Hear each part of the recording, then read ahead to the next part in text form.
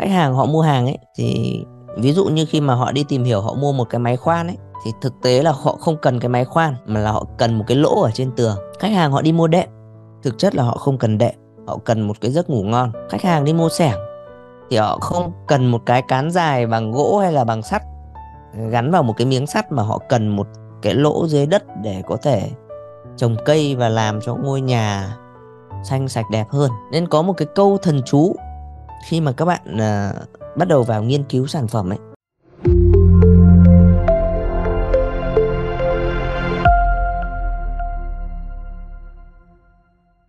À, chúng ta đi sang tiếp cái bước thứ hai mà chúng ta cần phải chuẩn bị trước khi viết bài. Đấy là chúng ta phải chuyển được cái tính năng thành lợi ích chuyển tính năng thành lợi ích. Nên có một cái câu thần chú. Khi mà các bạn uh, bắt đầu vào nghiên cứu sản phẩm ấy khi mà chúng ta đọc đến cái phần tính năng của sản phẩm thì chúng ta luôn hỏi là cái tính năng này nó mang lại cái lợi ích gì? À, ví dụ như này nhá. Đây nếu một cái bài mà viết về cái máy giặt quảng cáo như này đây là một máy giặt cửa ngang có lồng giặt bằng inox sản xuất tại đức. Nó có một hệ thống truyền động bằng bánh răng thế hệ mới vỏ thép dày 3mm được mạ sơn tĩnh điện 3 lớp tốc độ quay lên đến 2.000 vòng trên phút. Thì nếu như mà chúng ta chỉ viết như này không thì bài viết nó sẽ rất là khô. Người ta sẽ không muốn đọc. Thì chúng ta phải chuyển được cái, những cái tính năng này nó sang lợi ích. Thì ví dụ như là máy giặt cửa ngang, có lồng giặt bằng inox sản xuất tại Đức, thì cái tác dụng của nó là gì? Thì cái tác dụng của nó đây, cái cái lợi ích của đây đấy là không làm quần áo bị xoắn như dây thừng sau khi giặt. Đấy, thì khi mà miêu tả cho khách hoặc là viết bài thì ít nhất là chúng ta phải thêm được cái câu đấy vào đằng sau cái câu là đây là máy giặt cửa ngang có lồng giặt bằng inox sản xuất tại Đức. Thì tiếp theo đấy là giới thiệu luôn về cái lợi ích. Rồi nó có một hệ thống truyền động bằng bánh răng thế hệ mới. À, thì cái hệ thống truyền động bằng bánh răng thế hệ mới này vỏ thép dày 3 mi được mạng sơn tĩnh điện này thì nó sẽ giúp điều gì cho máy giặt? Nó sẽ làm máy giặt không han dỉ không cong vênh độ bền lên trên 20 năm.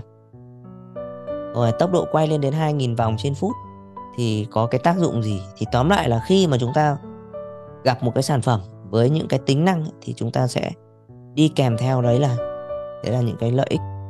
Rồi, ví dụ như này nha các bạn. Ví dụ xe có tính năng chống bó cứng phanh ABS vậy thì lợi ích của nó ở đây là gì? Khi mà chúng ta viết bài thì lợi ích của nó ở đây là gì? Thì nó sẽ là, chúng ta sẽ viết thêm là bạn sẽ có nhiều quyền để kiểm soát ô tô an toàn khi di chuyển rồi hoặc ví dụ như là nếu như mà trong sản phẩm là ví dụ như là dầu gội của bạn chứa một cái chất là pathenol thì lợi ích của nó là nó thấm được vào tóc làm tóc dày hơn bóng hơn tóc sẽ tóc đẹp sẽ khiến bạn được chú ý hơn. Rồi và quan trọng trong cái phần này ấy, thì nó sẽ có phần là cảm tính lợi ích cảm tính và lợi ích lý tính.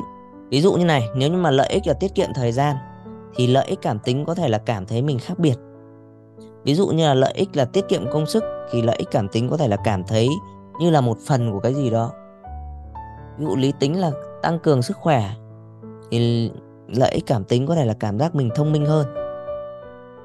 Thì cái lợi ích uh, lý tính này nó là xuất phát trực tiếp từ cái cấu tạo thành phần cơ chế. Còn lợi ích cảm tính là do cái quá trình sử dụng sản phẩm mà người ta cảm nhận được. Ví dụ về robot hút bụi nhé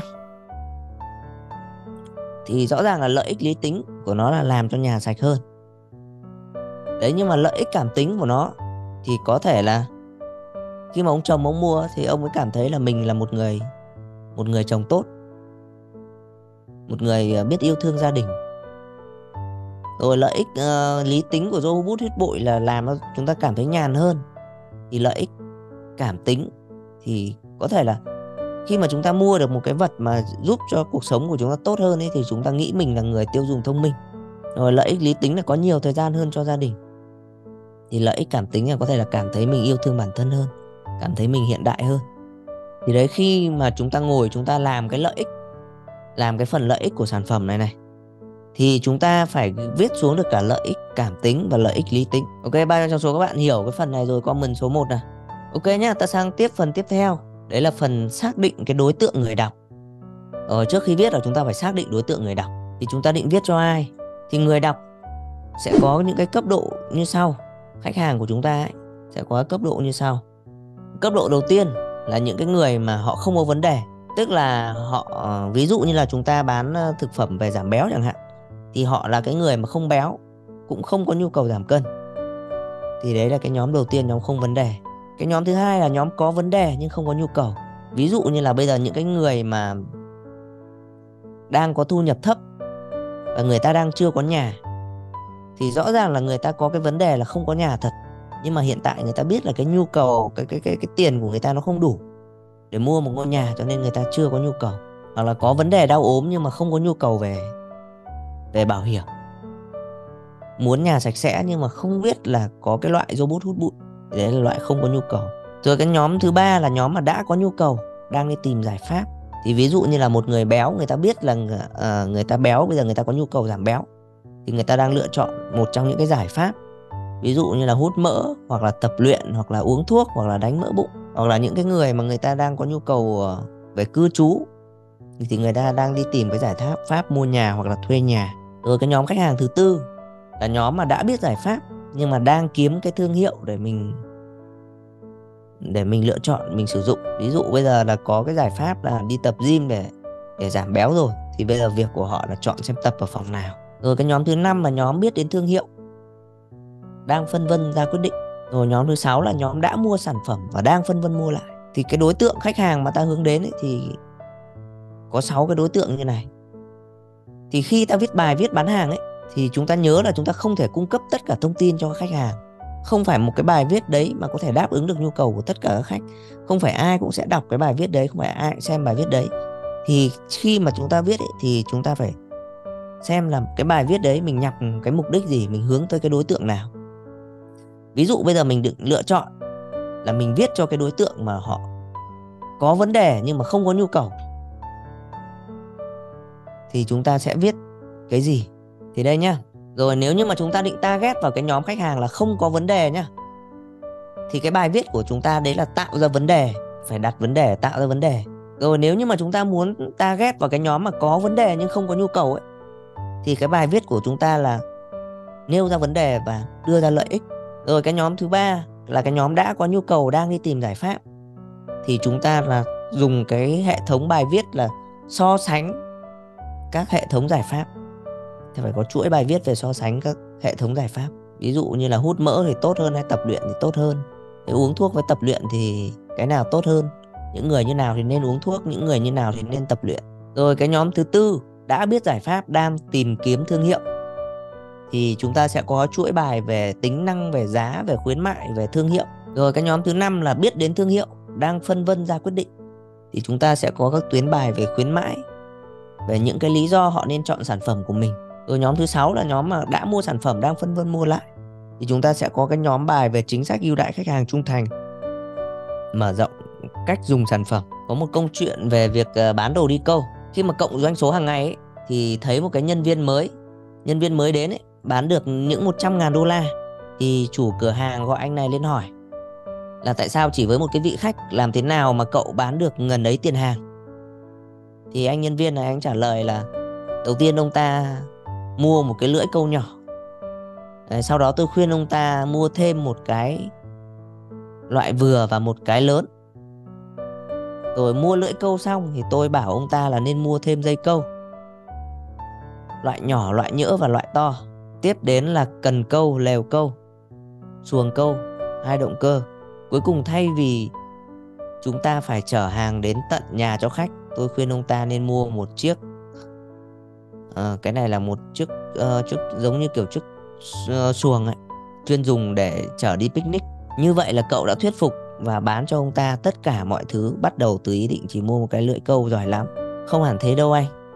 Cậu nhân viên giải thích ông ta đến với mục đích là mua một hộp băng vệ sinh cho vợ. Nhưng tôi khuyên ông ta rằng nếu vợ ông đang ở tình trạng như vậy thì ông không nên ở nhà mà tốt nhất là nên đi câu vài ngày. Thì ý là một khách hàng ấy họ mua hàng của mình á là do cái cách thì chúng ta có những cái content, có những cái nội dung để tạo ra cái nhu cầu cho họ. Đấy, lúc đầu thì có thể họ là thị trường lạnh với chúng ta, thì chúng ta có thể là có những cái chuỗi bài viết để họ thích theo dõi chúng ta nhiều hơn. Đấy, sau khi mà họ theo dõi thì bắt đầu là chúng ta đưa ra những cái chuỗi bài viết là nêu lên vấn đề. Sau khi mà một thời gian mà họ đọc chúng ta nhiều, họ trở thành cái thị trường ấm, đấy, thì chúng ta sẽ đưa ra những cái bài viết mà để họ tương tác với chúng ta, thì họ trở thành cái thị trường nóng thì lúc đấy chúng ta mới có thể bán hàng được cho họ. Cũng giống như trong câu chuyện này là cái anh bán hàng này là uh, anh ấy đẩy dần cái nhu cầu của khách hàng lên. Rồi sau đó thì đến bước thứ tư. Bước thứ tư là bước tìm insight khách hàng. Thế insight là cái gì các bạn? Insight là cái gì? Insight của khách hàng là gì? À, xin mời quỳnh giang nào. Insight khách hàng là gì em? Thưa thầy insight khách hàng là những uh, cái nhu cầu thực sự bên trong của họ mong muốn. Nhu cầu thực sự bên trong. Em có thể là uh, kể một cái câu chuyện nào đó về cái việc mà em biết được insight của khách hàng không? Ừm, nhờ biết insight mà em thuyết phục được họ à, hoặc ví là em dụ bán như được hàng một câu chuyện ạ. Ừ. À, ví dụ như là em có một bạn học viên à, cách đây 3 năm thì bạn ấy đang là một người làm về à, make up. Và khi mà bạn ấy nhắn tin cho em thì à, bạn ấy cũng đang vì thấy là tại cái năm 2021 đấy đấy khoảng à, khoảng tháng 3 2021 đấy khoảng gần 3 năm thì à, bạn ấy có xem ở trên à, những cái kênh về phun xăm thì thấy ngày đó em đưa các bạn học viên đi tham dự các chương trình và đi thi đó. Bạn ấy cũng có mong muốn là khát khao để có thể đứng trên sân khấu nhận giải như vậy. À, khi mà em hỏi ra thì uh, cái điều bạn ấy muốn không phải là học phun xăm mà cái điều bạn ấy muốn lại là cái sự uh, danh vọng được đứng ở trên một cái bục cao để nhận phần thưởng để được uh, Ừ. khoe với ba với mẹ tự hào. Thế thì em sẽ đánh vào cái, cái phần danh vọng đấy là cũng là một cái insight thực sự. Tức là trong cái quá trình khai thác xong nhá thì đến cuối cùng là như vậy nhá. À, thì không biết là có ok. thật sự. Cảm Ừ. ơn thầy đúng rồi đấy đấy đấy là insight đấy. Đấy là cái ham muốn đằng sau. Là cái ham muốn mà người ta không trực tiếp người ta nói ra rõ ràng là người ta inbox cho em để người ta có cái nhu cầu người ta đi học. Nhưng mà cái lý do thực sự của việc đi học ấy không phải học để biết thêm kiến thức, mà là cái quan trọng nhất đối với họ là học để đứng được trên bục để có cái danh vọng đấy, thì đấy là một dạng insight. Để chia sẻ thêm với các bạn một số cái câu chuyện về insight như này để chúng ta hiểu là khi mà mình nắm được insight của khách hàng ấy, thì mình bán thì khách hàng mới mua được, mới chạm được tới nhiều khách. Ờ, thì vừa rồi cốt DISC đấy các bạn.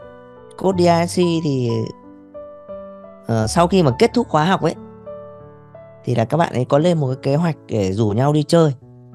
Để lên cái kế hoạch uh, rủ cả nhóm đi chơi đi đến một nơi nào đấy nghỉ ngơi xong là team building uh, rồi ăn nhậu các thứ.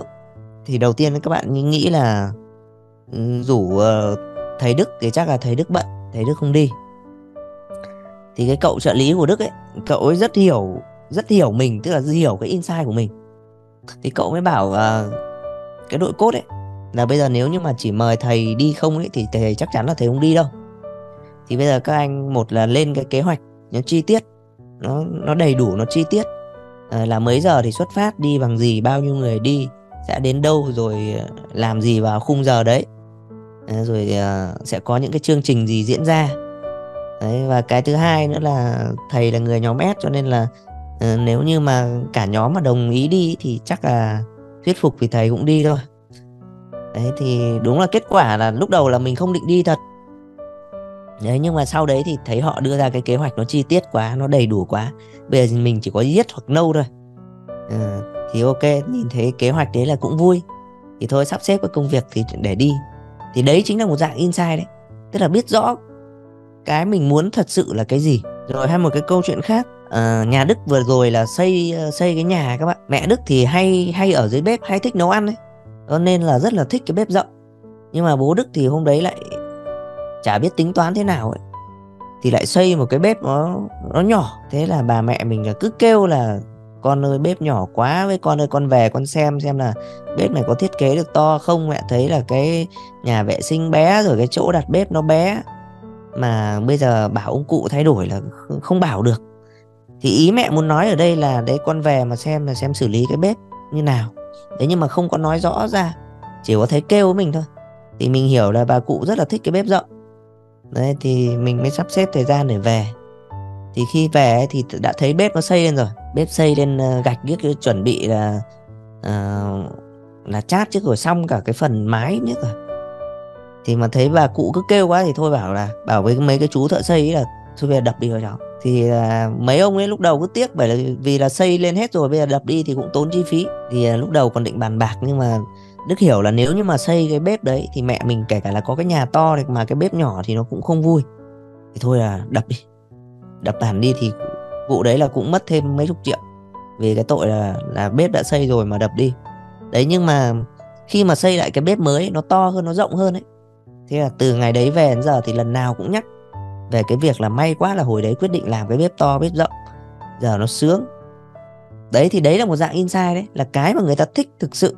Người ta không nói rõ ràng ra là con ơi, con phải đập bếp đi, mà cứ là con ơi, con về, con xem đi, xem là bếp như nào, nó có nhỏ quá không. Cảm ơn các bạn đã luôn theo dõi và ủng hộ Master Anh Đức.